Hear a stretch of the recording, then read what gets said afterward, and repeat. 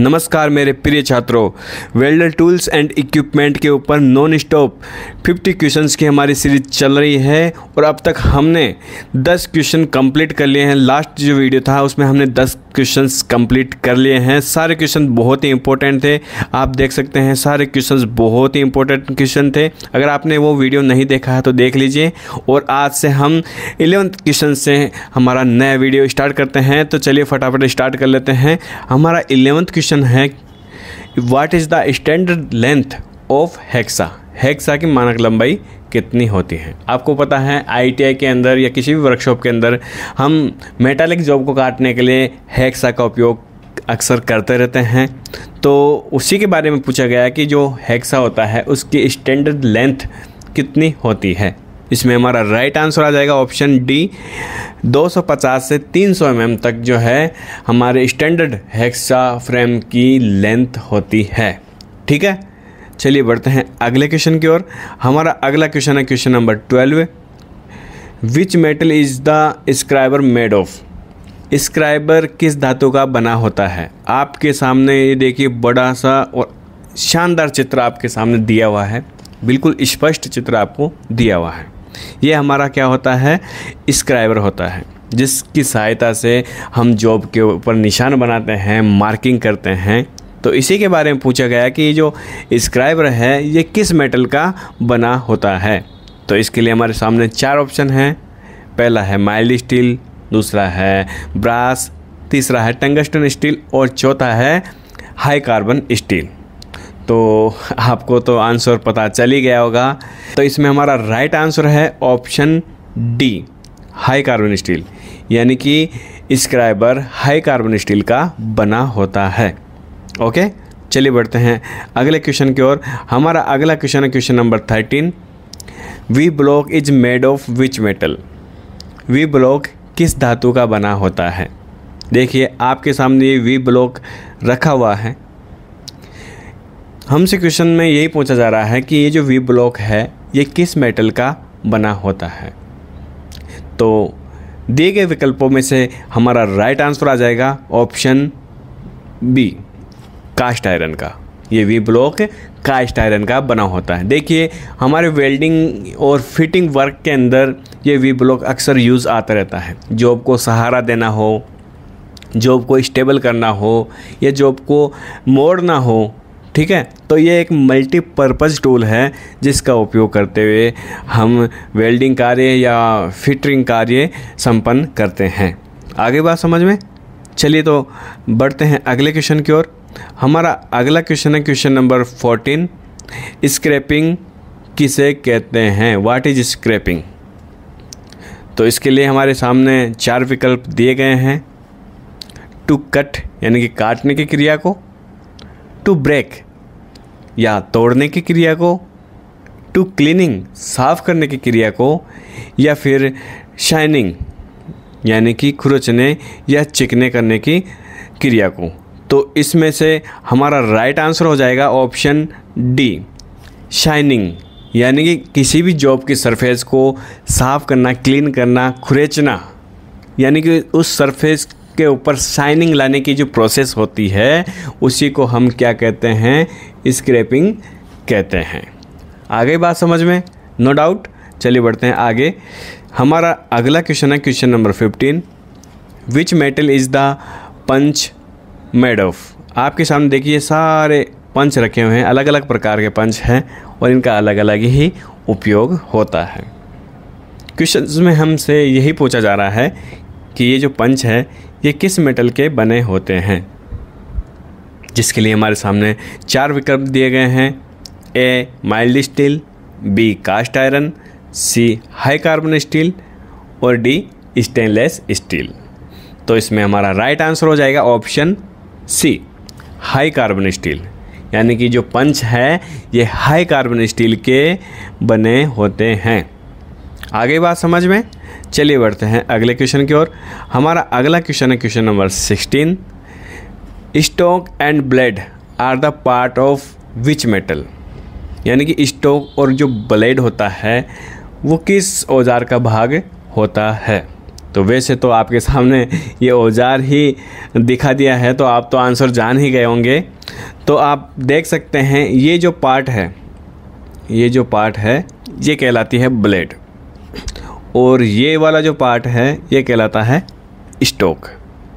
तो इन दोनों से मिलकर जो हमारा टूल तैयार होता है, वो होता है ऑप्शन बी, ट्राई स्क्वायर।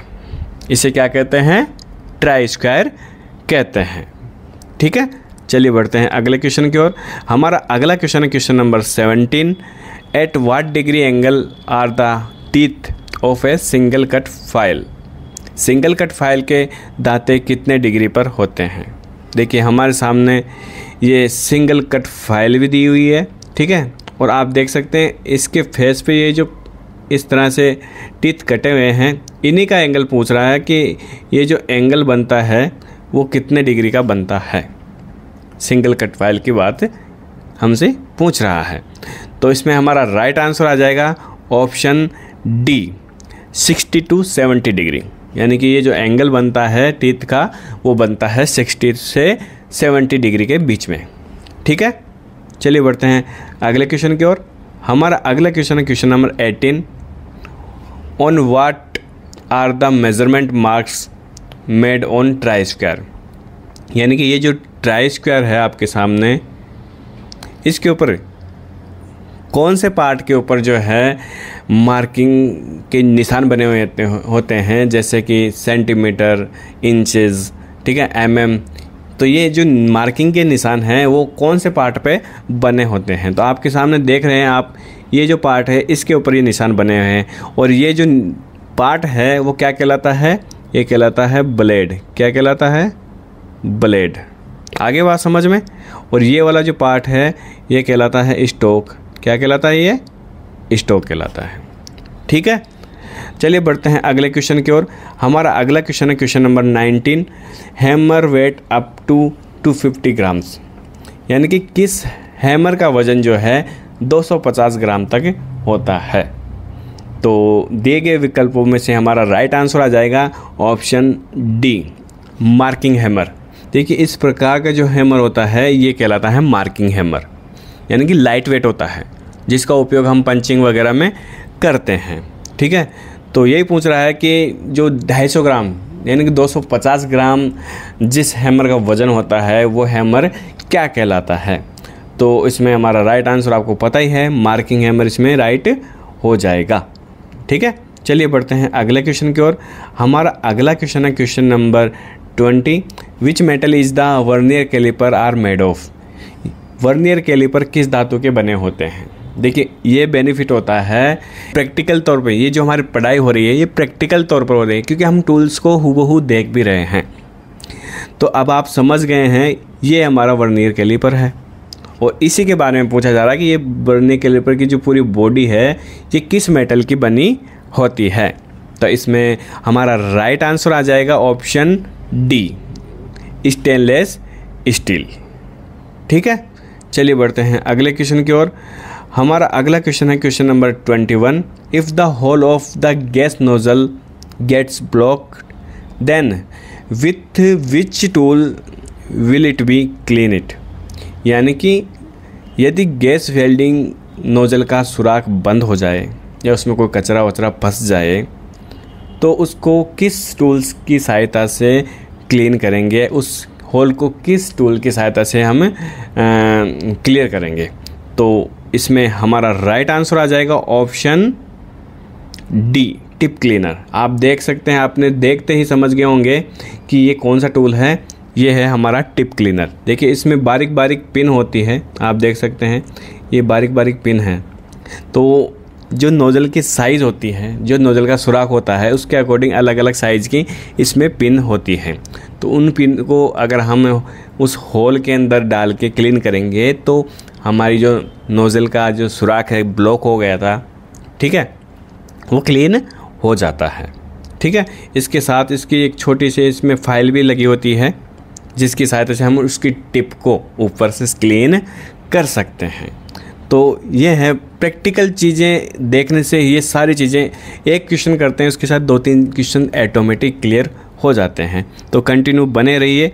इसी प्रकार से हम आपके लिए हमेशा क्वेश्चन आंसर लाते रहेंगे। चलिए बढ़ते हैं अगले क्वेश्चन की ओर।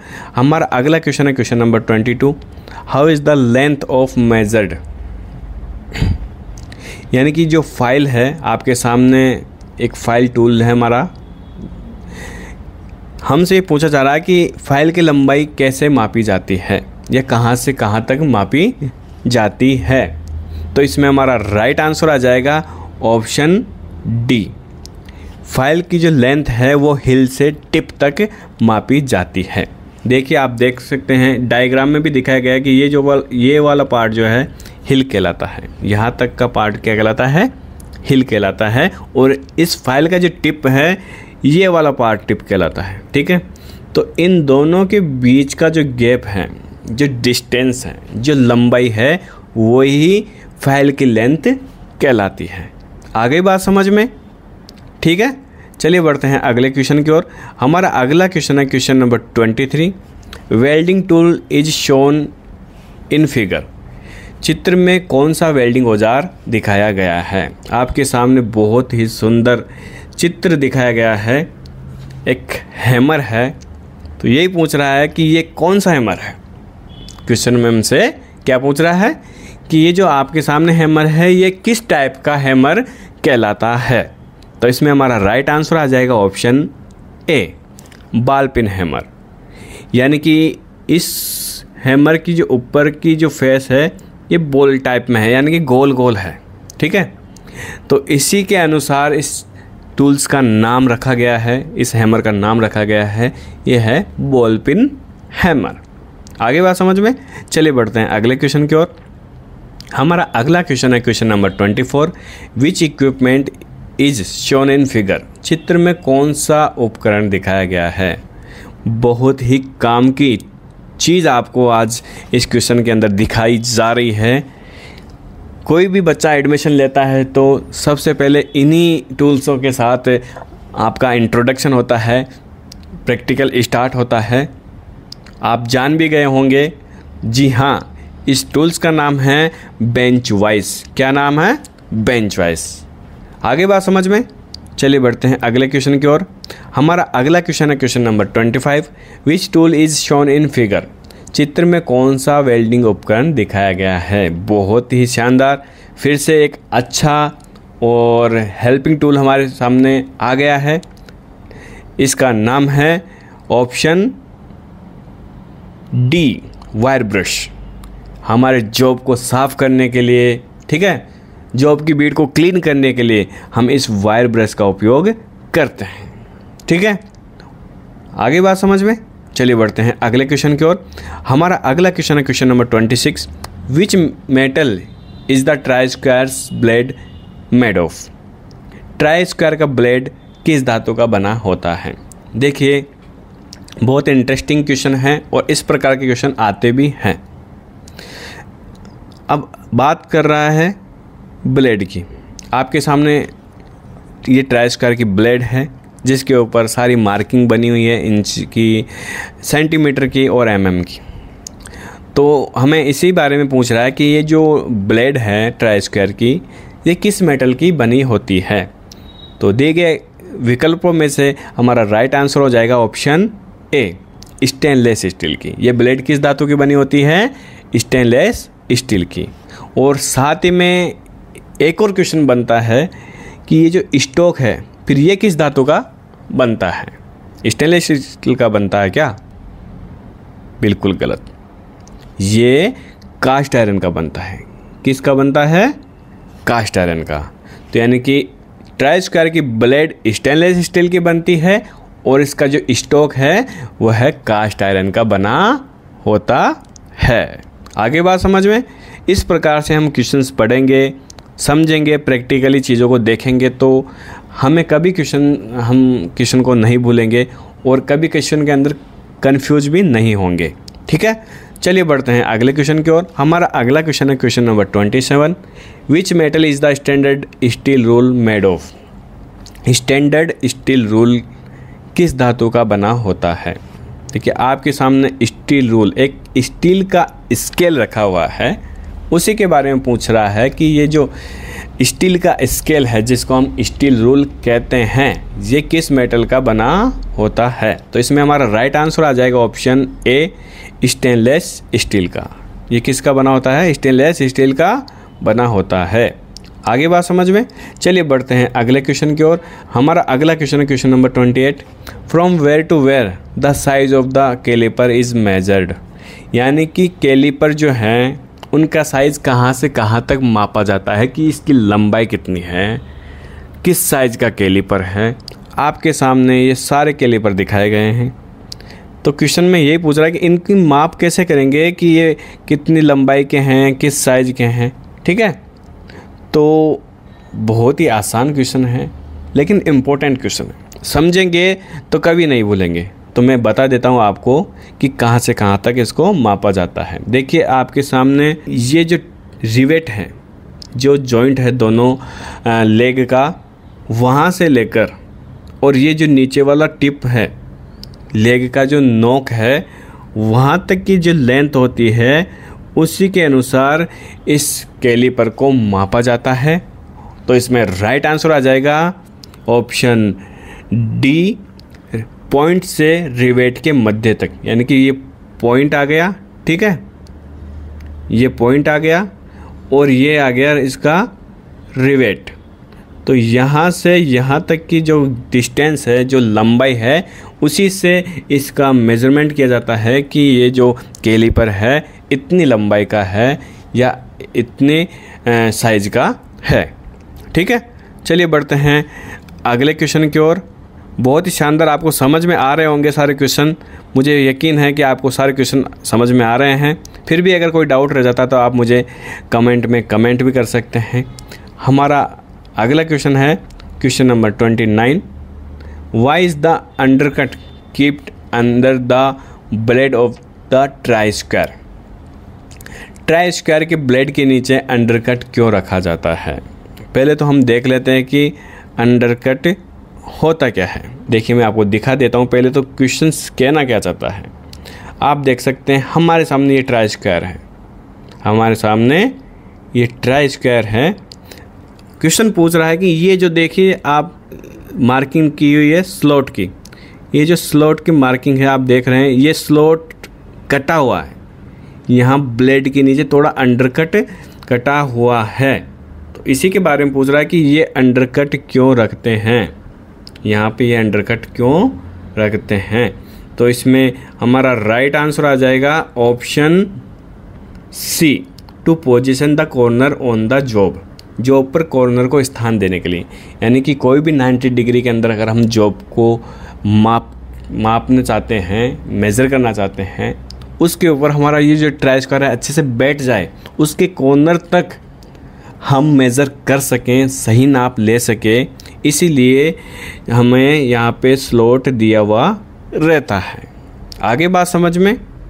तो ये क्वेश्चन कई बार आता है और कई बच्चे इसको गलत भी कर देते हैं। लेकिन जब आप इस तरह से क्वेश्चंस को पढ़ेंगे, इस तरह से क्वेश्चंस को समझेंगे तो कभी आप गलत नहीं कर पाएँगे। ठीक है? और उसके लिए मैं हूँ आपको समझाने के लिए। ठीक है? तो हमारा अगला क्वेश्चन है question number thirty how is the size of the try square measured यानी कि ट्राई स्क्वायर का जो साइज़ है, वो कैसे मापा जाता है कि कितनी लंबाई का हमारा ट्राई स्क्वायर है? तो इसमें हमारा राइट आंसर आ जाएगा option D by the length of the blade यानी कि ब्लेड की लंबाई के अनुसार हम कह सकते हैं कि ये हमारा जो ट्राई स्क्वायर है, इस साइज़ का है। और वो किस प्रकार से कहेंगे? देखिए, ये है ब्लेड। ये है हमारी ब्लेड। तो इसकी जो लेंथ है, यहाँ से यहाँ तक की जो लेंथ है, जिस पर मार्किंग होती है, उसी आधार पर हमारे ट्राई स्क्वायर का मेज़रमेंट होता है कि एक फिट का ट्राई स्क्वायर है, एक डेढ़ फिट का ट्राई स्क्वायर है, एक दो फिट का ट्राई स्क्वायर है। हम ब्लेड की लंबाई के अनुसार ही इसको मेज़र करते हैं। आगे बात समझ में? तो इस प्रकार से हमने ये थर्टी क्वेश्चन कंप्लीट कर लिए हैं। अभी हमारे बीस क्वेश्चंस जो हैं, और बचे हैं हमारे टूल्स एंड इक्विपमेंट की पहली श्रृंखला के। बहुत जल्दी हमारे अगले वीडियो के साथ हम फिर मिलते हैं। तब तक आप सी का एग्ज़ाम और इसरो का एग्ज़ाम नज़दीक आ गया है। तैयारी कीजिए क्वेश्चंस को देखिए, समझिए, और मुझे कमेंट करिए अगर आपको और भी अदर क्वेश्चंस के बारे में भी जानकारी चाहिए। तो मिलते हैं एक नए वीडियो के साथ। नमस्कार।